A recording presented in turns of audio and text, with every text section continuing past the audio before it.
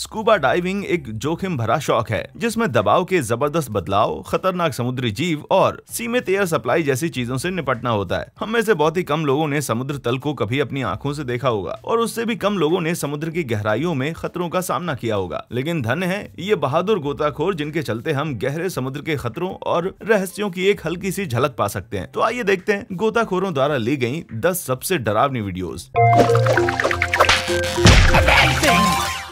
Number 10 shark से बाल बाल बचे। इस वीडियो में गोताखोर ग्रेसन शेफर्फ लॉयन फ़िश पकड़ रहे हैं। मछली की एक ऐसी प्रजाति जो जल्दी ही दूसरी प्रजातियों पर हावी हो जाती है। इसलिए समय समय पर इनकी संख्या कम करनी पड़ती है। ग्रेसन ने अभी सिर्फ़ चार लॉयन फ़िश ही पकड़ी थी। उन्होंने कुछ ऐसा देखा जो की कोई भी गोताखोर नहीं देखना चाहेगा। सेंट विसेंट आइलैंड के करीब बाईस मील दक्षिण में उन्होंने पानी की सतह ऐसी तिरानवे फीट नीचे एक बड़ी सी ग्रेट व्हाइट शार्क का डरावना मंजर देखा। शार्क उनसे करीब पैंतीस फीट नीचे थी और दूसरी दिशा में जा रही थी। ग्रेसन बैंड को अवॉइड किए बिना तुरंत सतह पर नहीं आ सकते थे और उन्हें ऐसा करने से पहले पूरे तीन मिनट रुकना था। सो उन्होंने अपनी स्पीयर गन तैयार की और बुरी से बुरी स्थिति से निपटने के लिए तैयार हो गए। वे साँसें थामे इंतज़ार कर ही रहे थे कि शार्क अचानक से मुड़ी और अंधेरे पानी से निकलकर तेज़ी से सीधा उनकी तरफ़ आने लगी। लेकिन ग्रेसन जानते थे कि अगर वे तेज़ी से तैर के भागने की कोशिश करेंगे तो शार्क के अंदर का शिकारी जाग जाएगा और बात बिगड़ जाएगी। किस्मत से उनका धैर्य काम आया। शार्क ने फिर टर्न ले लिया और ग्रेसन को अपने दस फीट लंबे शानदार शरीर का बेहतरीन शॉट दिया। ग्रेसन कहते हैं कि वे लकी थे जो कि ज़िंदा बच गए। और सबसे अच्छी बात तो यह है कि इस पूरे कांड में उनकी सिर्फ़ एक ही मछली खोई। नंबर नौ,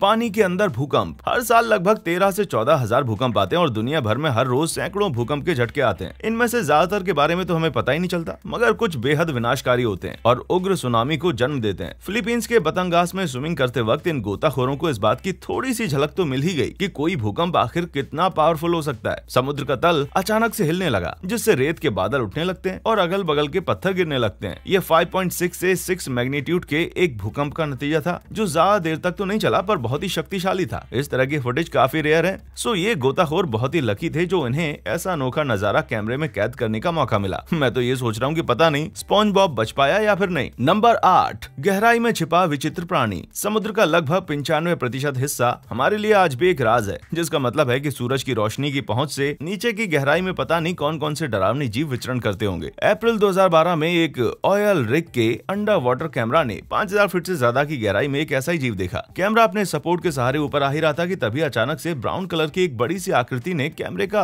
व्यू ब्लॉक कर दिया। ये हल्का सा ट्रांसलूसेंट जीव पानी में किसी रेशम की चादर की तरह लहरा रहा था और अंगड़ा रहा था। बीच बीच में इसमें किसी ऑर्गन जैसी कोई चीज़ भी दिखाई देती है। इसे देखकर लगता नहीं की ये इसी दुनिया का प्राणी है। अंत में इस जीव की शिनाख्त प्लेसेंटल जेलीफिश के तौर पर की गई, जिसे डीप स्टेरिया रेटिकुलम भी कहा जाता है। वैज्ञानिकों को अभी पिछले सात सालों से ही इस विचित्र जीव और इसके रिश्तेदार डीप स्टेरिया एनेगमेटिका की तस्वीरें मिलना शुरू हुई हैं। पानी के नीचे तस्वीरें लेने और रोबोटिक्स की टेक्नोलॉजी बेहतर होने के साथ नीचे अंधेरी गहराइयों में अभी न जाने क्या क्या देखने को हमें मिल सकता है। नंबर सात, मौत के मुँह में तीन दिन। अप्रैल 2013 के अंत में नाइजीरिया के तट के पास एक नाव पलट गई और तीन दिन बाद राहत दल के गोताखोरों के पहुँचने तक उसका मलबा समुद्र की गहराई में पड़ा रहा। गोताखोर सिर्फ़ लाशें इकट्ठा करने के इरादे से नीचे गए। चार क्रू मेंबर्स की बॉडी ढूँढने के बाद उन्हें पानी में एक हाथ जैसी कोई चीज़ तैरती हुई दिखी तो उनको लगा कि शायद एक और बॉडी है। लेकिन जब डाइवर नीको वैन हियरडेन ने उसका हाथ पकड़ा तो उसने भी नीको का हाथ वापस पकड़ लिया। ये नाव के कुक हैरिसन ओकिन का हाथ था, जिन्हें नाव डूबते वक्त सांस लेने के लिए एक एयर पॉकेट मिल गया था। वे तीन दिन तक इसी हालत में फंसे रहे और खाना या पानी नहीं पी सकने की वजह से सिर्फ़ कोका कोला के सहारे रहे। जब हैरिसन पाए गए तो समुद्र के खारे पानी ने उनकी ज़ुबान और चमड़ी को गलाना शुरू कर दिया था और उन्हें मछलियों द्वारा अपने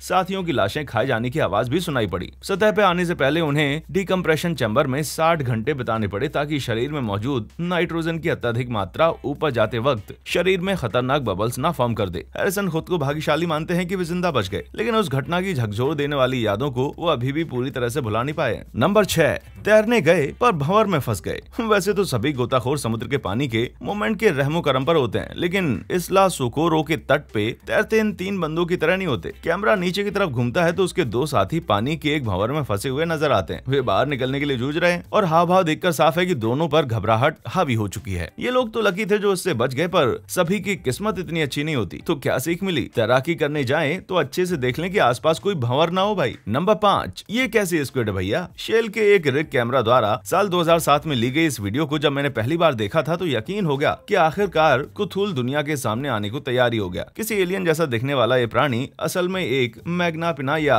बिग फिन स्क्विड है, जिसे गल्फ ऑफ़ मैक्सिको में अठहत्तर हज़ार फीट की गहराई पे पकड़ा गया था। इसके टेंटिकल्स शरीर के मुकाबले पंद्रह से बीस गुना ज़्यादा लंबे होते हैं, जिसके चलते इनकी कुल लंबाई करीब छब्बीस फीट होती है। वैज्ञानिक अभी तक बिग फिन को पकड़ के उसका अध्ययन नहीं कर पाए इसलिए ये फुटेज डरने के लिए नहीं, बल्कि वैज्ञानिक महत्व की चीज़ है। फिर भी, जब से मैंने इस चीज़ को देखा है, मेरे बुरे सपनों में इसका आना जाना लगा रहता है। नंबर चार, लगता है अब मरना ही होगा। ज़्यादातर लोगों के लिए समुद्र में बिना किसी मदद की उम्मीद के फंसे रहने का ख्याल भर दिल दहला देता है, लेकिन क्वींसलैंड के तट पे डाइविंग करते वक्त तीस साल के जेकब चाइल्ड्स जब अपने दल से अलग हो गए तो उनके साथ ठीक ऐसा ही हुआ। सूरज ढलते वक्त जेकब तट से तीस मील दूर फंसे हुए थे और उन्होंने अपने इस हालत को गोप्रो कैंप रिकॉर्ड किया। एक घंटे तक नाव का पीछा करने के बाद वे थक के हार गए और एकदम शांत नज़र आए। मानो दिमागी तौर पर तैयार हो गए हों कि अब तो मुझे मरना है। फिर वीडियो में अंधेरा छा जाता है और उसी लकी मोमेंट में उन्हें ऊपर एक बचाव प्लेन नज़र आता है। प्लेन जेकब को देख लेता है और चक्कर काटने लगता है। इमेजिन कीजिए इन छह घंटों में बेचारे जेकब कितने इमोशनल उतार चढ़ाव से गुजरे होंगे। मैं तो अंदाज़ा भी नहीं लगा सकता भाई। नंबर तीन वेल शार्क का हमला। वेल शार्क समुद्र की सबसे बड़ी मछली होने के साथ साथ सबसे मिलनसार भी है। इसके दांत नहीं होते और ये सिर्फ़ प्लैंकटन ही खाती है। अगर ये सामने आ जाए तो आमतौर पर डरने की कोई बात नहीं होती, लेकिन इस वीडियो को देखने से लगता है डाइवर ने ज़रूर कुछ ऐसा किया होगा, जिससे ये वेल शार्क भड़क गई। मछली करीब दो मिनट तक डाइवर का पीछा करती रही और कुछ लोगों ने तो इसे आज तक का सबसे सुस्त हमला भी बताया। कोई मज़ाक नहीं है। मछली सचमुच उसे पूरा का पूरा निकल सकती थी। शुक्र है कि कुछ देर बाद उसने इसका पीछा करना छोड़ दिया। हो सकता है वो बबल से आकर्षित हुई हो, या फिर सिर्फ़ खेलना चाह रही हो, जो भी हो, इतने भारी भरकम जीव से किसी भी तरह के कांटेक्ट पे डर लगना वाजिब है। नंबर दो वेल का नाश्ता बनते बनते बचे। किसी वेल के साथ स्विमिंग करते वक्त आपको सिर्फ़ एक बात ध्यान रखनी होती है। आपका हाल नबी यूनुस या फिर जोनस की तरह नहीं होना चाहिए, जिन्हें एक बड़ी सी मछली ने ज़िंदा ही निकल लिया था। लेकिन मार्च 2019 में साउथ अफ्रीका के तट पर सार्डिन मछलियों को फिल्माते वक्त इस वाइल्ड लाइफ फोटोग्राफर ने इस नियम को लगभग तोड़ ही दिया था। ये घटना पूरे दो सेकंड चली। डाइवर शेना शिम बताते हैं कि इस विशाल का प्राणी ने उन्हें पकड़ा और लगभग निगलते ही उगल दिया। ये तस्वीरें उस सटीक पल को दिखाती हैं, जब रेनर पानी से बाहर खींच ले गए थे। लेकिन उनका कहना है कि उन्हें डरने तक का समय नहीं मिल पाया। उन्हें पता था कि वेल का गला इंसान को निकलने के लिहाज से काफ़ी पतला होता है। लेकिन अगर वेल उन्हें पानी के नीचे खींच ले जाती तो फिर मरना तय था। इसलिए शुक्र है कि वेल ने उन्हें तुरंत ही उगल दिया। जब रेनर ने अपने बेटे को यह किस्सा सुनाया तो वो बहुत इम्प्रेस हुआ। लेकिन सबसे बड़ा इत्तेफाक पता है क्या है? रेनर के बेटे का नाम भी जोनस है।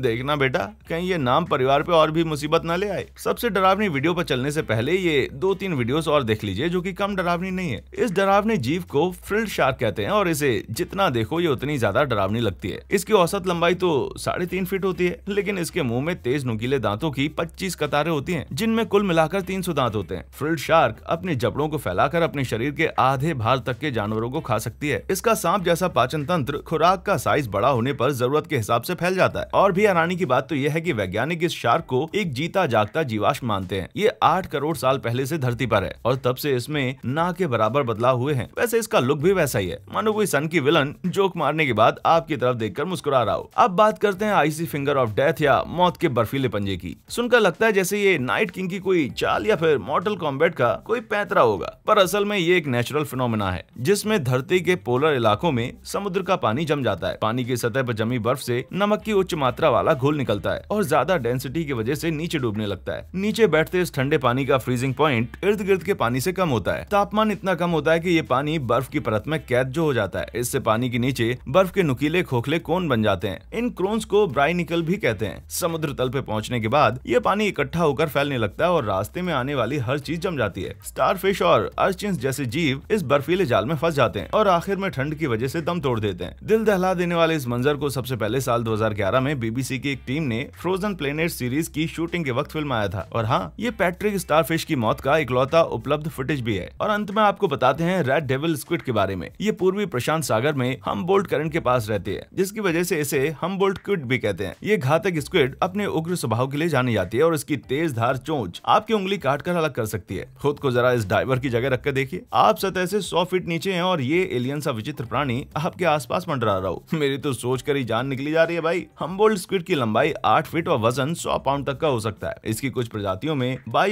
बायोलिमिनिसेंस या शरीर से भीनी भीनी रोशनी निकलने का गुण भी होता है। इस वीडियो में British wildlife TV presenter Steve Backshall एक हमबोल्ड स्क्विड को हैंडल करते वक्त कुछ ज़्यादा ही कंफर्टेबल हो गए। उनके पार्टनर ने उनके हाथ से स्क्विड को हटाया, लेकिन उसने हटते हटते एक निवाला काट ही लिया। शुक्र है स्टीव ने आर्मर पहन रखा था, पर वो भी उन्हें पूरी तरह से बचा नहीं पाया। मेरा एक हिस्सा कहता है की अच्छा हुआ, न्याय पेश हुआ। वो भी तड़का फ्राई के साथ। नंबर एक, गहराई में मौत। लाल सागर में मिस्र के तट के पास ब्लू होल नाम की एक डाइविंग लोकेशन है। भले ये लोकेशन तट के एकदम नज़दीक है और यहाँ यहाँ पर धाराएँ भी नहीं है। पर बहुत से लोगों का कहना है कि ये दुनिया की सबसे खतरनाक डाइविंग साइट है, क्योंकि हाल ही के बरसों में यहाँ पर 200 से ज़्यादा लोगों की मौतें हो चुकी हैं। रेस्क्यू डाइवर तारिक उमर पानी से इतनी ज़्यादा लाशें निकाल चुके हैं की अब उन्होंने गिनती करना छोड़ दी है। ऐसा ये किस्सा है यूरी लिप्सी नाम के एक रशियन इसराइली डाइविंग इंस्ट्रक्टर का, जिन्होंने अप्रैल 2000 में खुद अपनी मौत रिकॉर्ड की। यूरी अपने साथ पानी में कुछ ज़्यादा ही वज़न लेकर चले गए थे। सो वे अनियंत्रित ढंग से डूबने लगे और 115 मीटर की गहराई तक पहुँच गए। समुद्र तल से टकराने पर घबराए हुए यूरी ने अपना